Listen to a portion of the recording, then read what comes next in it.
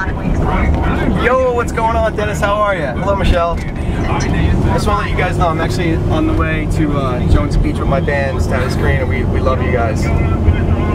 Status Green.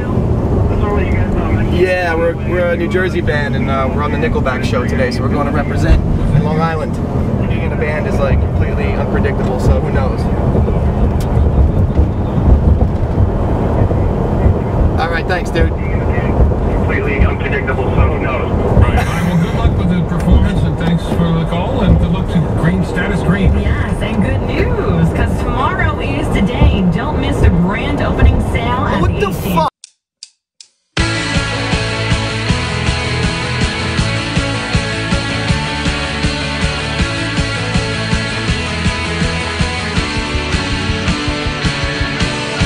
Like we're here to interview Chad. I have a 3:30 with Mr. Kroeger. How are you, Mike? Hey, hey, how are you? Who's this over here behind How us? are you? Oh God. How's he doing? Okay, uh, Lou from Status Green. About to walk in, check out Jones Beach Theater. We're uh, on the side stage for the Nickelback show we got last minute, thanks to Matt Peters at ICM and Andrew from Live Nation. So uh, let's take a look.